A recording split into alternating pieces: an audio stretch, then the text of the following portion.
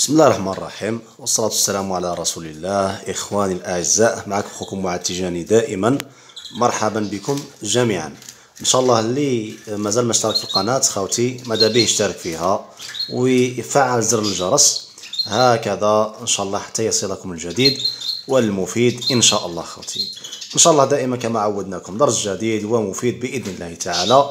يعني راني نشوف الأسئلة اللي توصلني بزاف ونوضع فيديوهات. صحيح. خوتي بزاف ناس تقسيني خويا معاد كيفاش نرجعوا مثلا المقنين ياكل البراقه سامبل آه يعني يشكيو لي يقول لي المقنين تاعنا راه ياكل فقط البذور السوداء. وكما تعلمون إخواتي أن البذور السوداء يعني تتسبب يعني عاجلا أم اجلا في مرض الكبد.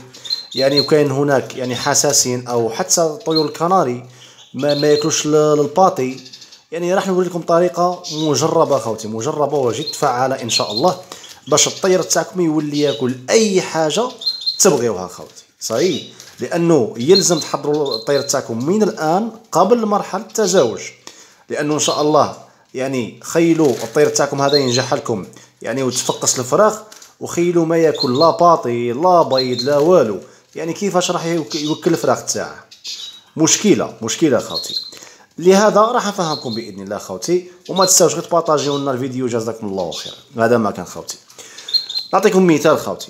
مثلا عندنا هنا البراقة. البراقة simple. وعندنا هنا يعني mélange. متعدد البذور متعدد البذور. حنا supposons أنه الطير تاعنا يأكل فقط البذور السوداء. وهنا خاوتي راني مخلي راني مخلي لكم exprès exprès هاد القشور باش نفهمكم إن شاء الله. باش نفهمكم إن شاء الله. صحيح خاوتي آه عندنا الطير تاعنا ياكل فقط البذور السوداء. ما ياكل لا براقه simple لا pâtée لا والو. كيش نديرو له خاوتي سهلة جدا جدا. إن شاء الله كي تنوض الصباح خاوتي كي تنوض الصباح. مثلا حاب تولف له ياكل البراقة أو ال pâtée. وضع معلف خاص بالبراقة مثلا هكا simple ولا ال pâtée. الصباح كي تنوض باكرا يعني الصباح كي تصلي يعني الصبح تاعك بإذن الله تدخل المنزل. تنحي هذا. تاع ال mélange تنحيه. تنحي مصدر ال mélange. تنحيه مباشرة خوتي. توضع له ال pâtée تاعك أو البراقة. هذه تخليها نص نهار خوتي. نص نهار.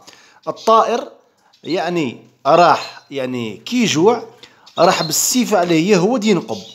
وكان حتى ما ياكلش بزاف. الأيام الأولى ياكل حبة زوج ثلاثة. كيفاش تعرفوا خاوتي تشوفوا يا إما الداخل تشوفوا هكا شوية قشرات تاع براقة ولا تشوفوا هكا قشرة خاوتي شوفوا القشرة تاع البراقة هذه. شوفوا القشرة. راكم تشوفوا القشرة. كي تشوفوا القشرة حاجة مليحة. آه نص نهار فقط خاوتي نص نهار. يعني إذا كنتو خدامين وصيو الأهل تاعكم ولا الاخوات تاعكم ينحيوها يستبدلوها. يعني من 8 ل 12 توضع له البراقة هكذا ولا توضع له ال pâtée فقط. آه عند 12 إن شاء الله تقلعوا هذه البراقة وتوضعوا ال mélange. علاش ترجعوا ال mélange خاوتي؟ يعني إذا جاء المقنين تاعكم ما كلاش بزاف يعني تفاديا لانتفاخ الطير ولا يعني تحطوا له الميلونج باش عاود ياكل من جديد إن شاء الله.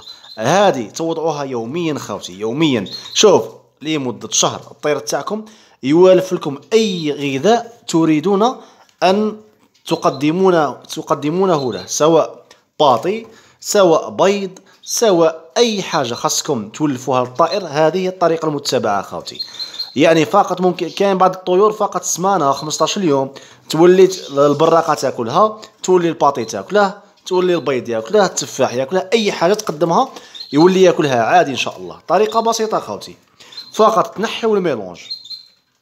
تنحيو له البذور نص نهار التي يحبها. وتوضعوا في بلاصتها ديك نص نهار توضعوا البذور أو الباطي الذي تريدون أن يعني تولفوه لكم نقولوا. صحيح خوتي إن شاء الله بطريقة بسيطة إن شاء الله تستفادوا خوتي. وادعوا لنا الله وبارك الله فيكم. السلام عليكم.